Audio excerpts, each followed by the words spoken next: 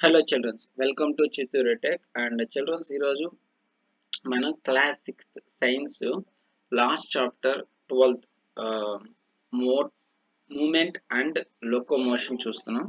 So ఇందులో first video మనం upload చేసాం పార్ట్ వన్ ఈ second video part two so ఇందులో బోన్స్ అనే చాప్టర్ నుంచి చూస్తున్నాం. సో బోన్స్ అనే టాపిక్స్ నుంచి the different bones of different parts of the body combine together to form a single structure or system so ప్రతి ఒక్క bone చిన్న చిన్న డిఫరెంట్ డిఫరెంట్ బోన్స్ అన్ని కలిసి ఒక కంబైన్డ్గా మాట్లాడుకుంటే దాన్ని సింగిల్ స్ట్రక్చర్ ఆర్ సిస్టమ్ అని అంటారు.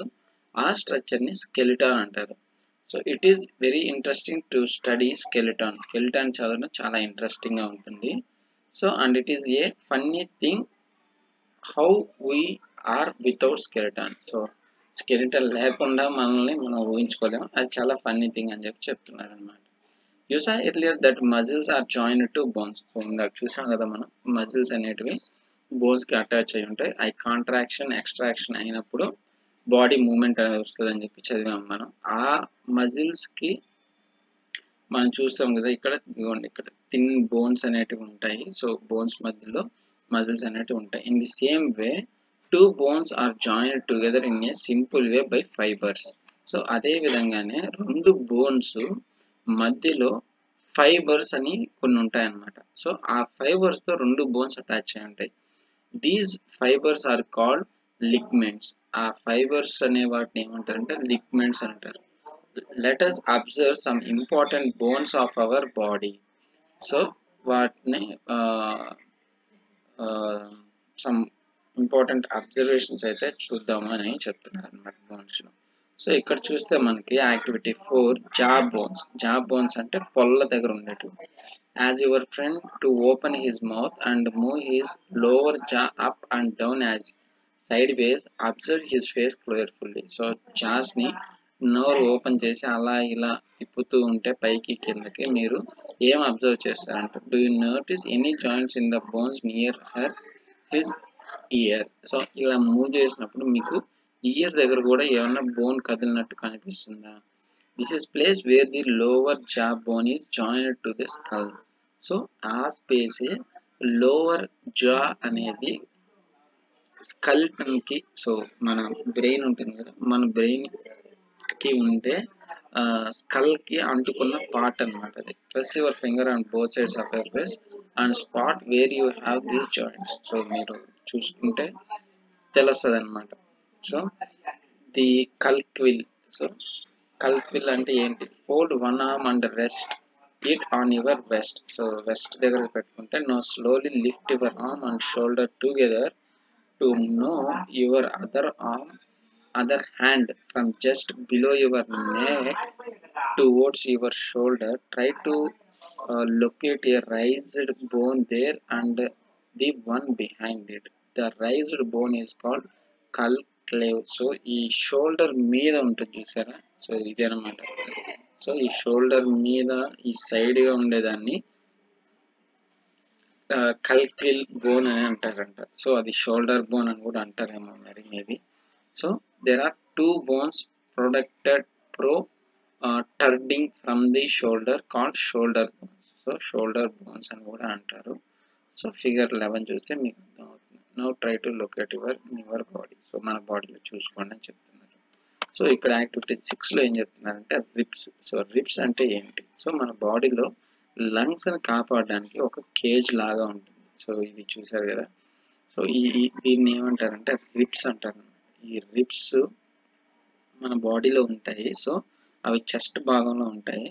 సో ఇది ప్రొటెక్ట్ ఎందుకు దేన్ని ప్రొటెక్ట్ చేస్తాను కూడా ఇచ్చినారు సో నేను ముందే చెప్పేసాను సో లంగ్స్ని ప్రొటెక్ట్ చేయడానికి మెయిన్గా మనమైతే ఈ రిప్స్ని యూజ్ చేస్తుంటాము. సో నెక్స్ట్ వచ్చేసి activity seven back bone. So మనకి బ్యాక్ బోన్ ఉంటుంది. ఈ బ్యాక్ బోన్ జస్ట్ మనం ఫింగర్ పెట్టినా తెలుస్తుంది అది ఏంటనేది so it is very important to stand and to run so నిలబడి ఉండాలంటే స్ట్రైట్గా మనకి ఈ ఇవనేటివి చాలా ఇంపార్టెంట్ అనమాట so a long structural running down the middle of his neck is called a back bone so a small bone that make up these bones are called vertebra so దీన్ని vertebra అని అంటారంట. ఇది స్ట్రైట్గా ఇలా నిలబడి ఉండడానికి కూడా ఒక స్మాల్ బోన్ యూజ్ అవుతుంది కదా. దాన్ని the spinal cord passes through the vertebra of the back bone. Spinal cord అనేది ఇందులో నుంచి స్ట్రైట్గా పాస్ అయి ఉంటుంది అని చెప్పి చెప్తున్నారు. సో పెల్ పెల్విక్ పెల్విక్ గ్రాడిల్ అంటారంట. సో ఇదనమాట ఈ పెన్ ఈ పెల్విక్ గ్రాడిల్ వల్లే మనకి నడుము ఎంత ఉండాలి అని చెప్తుంది అనే సైజ్ ఉంటుంది. సో ఇది జెంట్స్కి కంపేర్ టు లేడీస్ జెంట్స్లో దీని యొక్క పెల్వి గ్రాడిల్ సైజ్ అనేది తక్కువగా ఉంటుంది. సో లేడీస్కి ఇది సైజ్ అనేది ఎక్కువగా ఉంటుంది అనమాట సో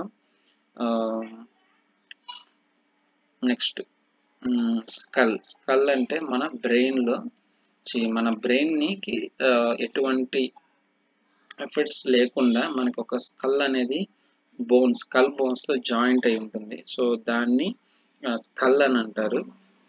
అవి ఫిక్స్డ్ జాయింట్స్ ఉంటాయి అన్నమాట దీనికి సో దీనివల్ల మన బ్రెయిన్ అనేది చాలా సేఫ్టీగా ఉంటుంది. సో మన బాడీలో టూ నాట్ సిక్స్ బోన్స్ ఉంటాయంట. సో చిన్నపిల్లల్లో కొంచెం ఎక్కువ ఉంటాయి. Three fifteen or three naught nine I think so so flexible bones cartilage so కొన్ని ఫ్లెక్సిబుల్ బోన్స్ కూడా ఉంటాయి మన బాడీలో లైక్ ఇయర్ ఇయర్లో కూడా మీకు బోన్ ఉంటుంది బట్ అది హార్డెస్ట్ బోన్ కాదు. ఫ్లెక్సిబుల్ బోన్స్ అనేసి అని అంటారు అనమాట వాటిని.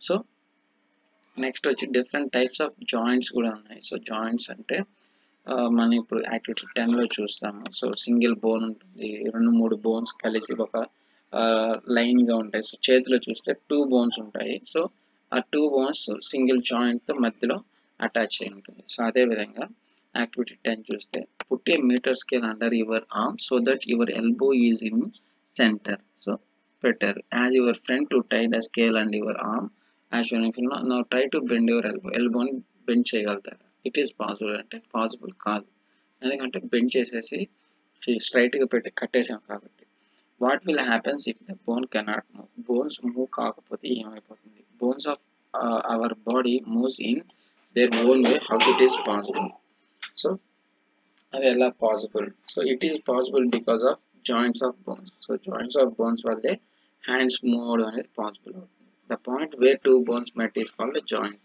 so రెండు బోన్స్ ఎక్కడైతే కలుస్తాయో దాన్ని జాయింట్ అంటారు. So these joint help us to bend and twist and turn so ఇవి మనం మూవ్ చేయడానికి కదిలించడానికి యూస్ఫుల్ అవుతాయి. So joints are divided into two types ఈ జాయింట్స్ టూ టైప్స్గా డివైడ్ చేశారు. Movable joints immovable joints or fixed joints అని చెప్పారు అనమాట సో మూవబుల్ జాయింట్స్ కింద వచ్చేస్తే మనకి ఫోర్ ఉంటాయి అనమాట ball and socket joint hinge joint sliding joint pivots joint so ఇవి ఏంటో చూద్దాం. బాల్ అండ్ సాకెట్ జాయింట్ అంటే ఇది ఎక్కడ ఉంటుందంటే ఫిగర్ ఎయిటీన్లో చూస్తున్నారు కదా మీరు ఇక్కడ. సో బల్బ్ని సో ఒక ఇది తీసుకున్నారు అనుకోండి కోకోనట్ హాఫ్ uh, ని తీసుకొని బల్బ్ అందులో పెట్టి నువ్వు పైకి కిందకి రెండు వైపులు మూవ్ చేయొచ్చు అనమాట సో రొటేట్ చేసినా కానీ రొటేట్ అవుతుంది. సో ఇలాగ ఉండే జాయింట్స్ని ఏమంటారంటే బాల్ అండ్ సాకెట్ జాయింట్ అంటారు.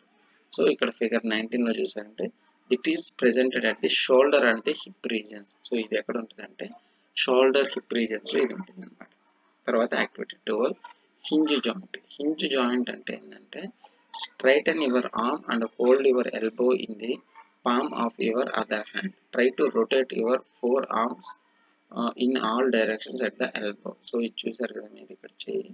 ట్వంటీ బిలో ఉంది కదా. ఏ విధంగా అయితే మనం అన్ని హ్యాండ్ చేతులు కాళ్ళు ఇలా మోచేయి మోకాలు మోచేయి ఇలా ఉంచి ఇలా లేపగలుగుతాం కదా. వాటన్నిటిని అంటారు హింజ్ జాయింట్స్ అని అంటారు. So observe the object attached by these hinge moves so కాళ్ళు అవి కూడా చేయగలుగుతాం. Like this hinge of the door అంటే డోర్ ఉంటుంది దాన్ని హింజ్ అంటారంటే. సో అది సేమ్ ఇలాగే ఉంటుంది. One direction is called hinge joint అనేసి అని అంటారు అనమాట అదర్ డైరెక్షన్స్ లేదు. ఒకే డైరెక్షన్లో మాత్రం దీన్ని మూవ్ చేయగలుగుతాం మనం. సో నెక్స్ట్ వచ్చి slide joints. So slide joints అంటే ఏంటంటే స్ట్రైట్గా మనం నిలబడతాం and touch the floor with your palm by bending your body forward without bending at your knees so కాళ్ళని మొద- కాళ్ళని వంచకుండానే మనం మన కింద ఉండే నేలని తాకగలుగుతాం చేతితో. సో అలాగా చేస్తే which part of your body you think is responsible for this movement ఆ మూమెంట్కి మన బాడీలో బ్యాక్ బోన్ అనేది యూజ్ అవుతుంది. So there is tender and flexible cartilage between vertebra of the back bone so back బోన్కి ఉండే vertebra ఉంటుంది కదా దాని హెల్ప్తో మనం కిందకు ఉండగలుగుతాం. Due to cartilage and the vertebra slide over each others so ఒకదాని మీద ఒకటి ఇట్లా స్లైడ్ అయిపోవడం వల్ల so that the back bone could move in all direction so back bone అనేది ఆల్ డైరెక్షన్స్ మూవ్ అవుతుంది so the joints where the bone slide over each other is called sliding point so ఆ విధంగా move అయ్యే వాటిని sliding point అని అంటారంట. So అది మనకి బ్యాక్ బోన్లో ఉంటుంది. సో నెక్స్ట్ వచ్చేసి it is present in vertebral కాలంలో కూడా ఉంటుంది. బ్రిస్ట్ అండ్ యాంకిల్స్లో కూడా ఈ స్లైడింగ్ జాయింట్స్ ఉంటాయి so pivot joint so pivot joint అంటే ఇక్కడ హెడ్ ఉంది కదా. ఈ హెడ్కి మనకి స్కల్ స్కల్ మొత్తం దీన్ని ఏమంటారంటే బ్యాక్ బోన్కి వచ్చి అటాచ్ అయ్యే దాన్ని పవర్ పాయింట్ అంట పాయింట్ జాయింట్ అంటారు. So move your head up and down side to side so do you think that there is any other joint below the head ఉంటుంది. So లేకపోతే అట్లా దాన్ని neck joint or pivot joint అనేసి అని అంటారు. Immovable and fixed joints కింద మనకి skull వస్తుంది అనమాట స్కల్ అంటే తల తల దగ్గర ఉండేది. దాన్ని స్కల్ అంటారు. అది వస్తుంది అనమాట so there is a joint between upper jaws and rest of the head it is called a fixed joint so you cannot move the upper jaw so upper joint మనం మూవ్ చేయలేం. Only lower joint మాత్రమే move చేయగలుగుతాం. So moment in other animals so మనం next వీడియోలో మీతో చూద్దాం.